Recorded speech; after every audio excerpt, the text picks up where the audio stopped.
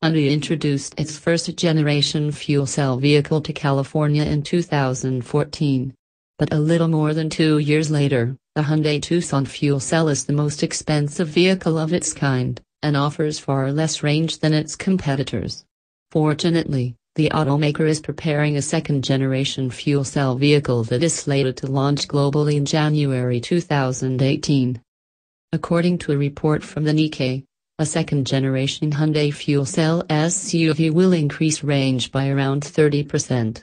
It should travel up to 348 miles on a single fill-up. That number would put it ahead of the Toyota Mirai, 312 miles, but behind the new Honda Clarity fuel cell, 366 miles. While range anxiety may not seem like such a problem at these numbers, the limited hydrogen fueling infrastructure makes it an important issue. The report also says Hyundai wants to keep prices at a reasonable level of around 60 million won, or in the ballpark of $50,000. With government subsidies, the actual prices could be much lower.